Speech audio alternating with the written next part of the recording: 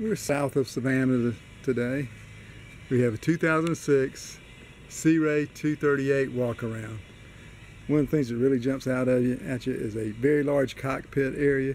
If you're looking for fishing room, she's definitely got it. Dual live wells on each side of the back. Flip down seat. Sorry about all the shadows. Power is a Yamaha 225. There's no hour meters. It has been read recently, or it can be read.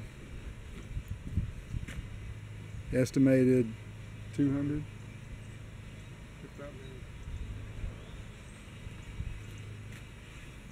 Take a look at the helm area. Fish box here and on the other side. Captain's chair, passenger chair.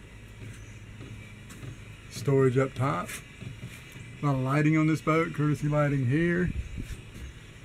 Spreader lights, rod holders. She's ready for fishing.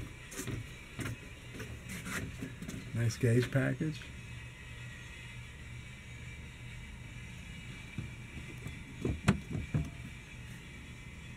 Trim tabs. Pan around the cabin.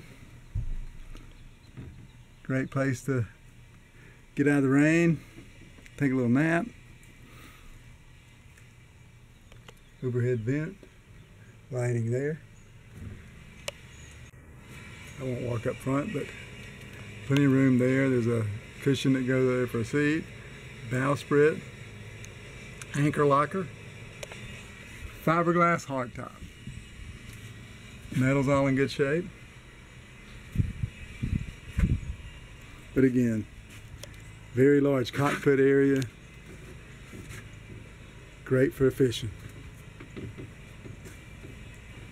Sea Pro 238 walk around.